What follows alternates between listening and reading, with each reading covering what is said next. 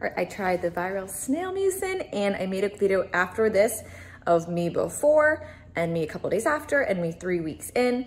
And stay tuned to the end because I say how to use this best. I did a lot of research of when to use it, to use it first or after. So here is my before video coming up. All right, this is my before for the snail mucin. I haven't used that. You can see that I just kind of have some patches of acne and just some skin tone that isn't totally clear. So let's see, after a little use, what a little snail mucin. I have a wrinkle here, had some wrinkles here. Skin just like not as vibrant as I'd like it, so let's see. All right, this is after about two weeks of using the snail mucin. You can see that there's just this beautiful um, glowy dew on my face. My skin tone is definitely evened out. It's a time of month, so I have um, a few little things, but the, the tone of my skin has really, really evened out.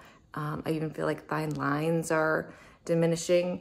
So I would really recommend, and I wanna tell you guys now how to use this because I think the way you use it really um, affects how it goes. So you want, it's a serum. So you're going to want to have your face actually wet because what it is is kind of like hyaluronic acid where it pulls in the moisture to keep like a barrier.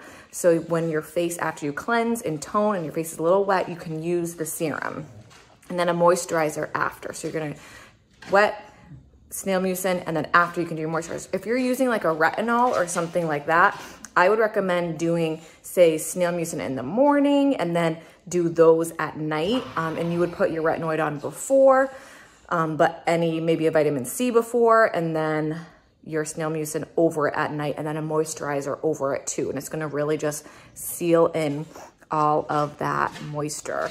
I'm really, really impressed with it. Um, my skin is um, it's not even moisturized. It feels firmer and just the texture is just a lot different. So I would definitely recommend the Viral Snail Mucin.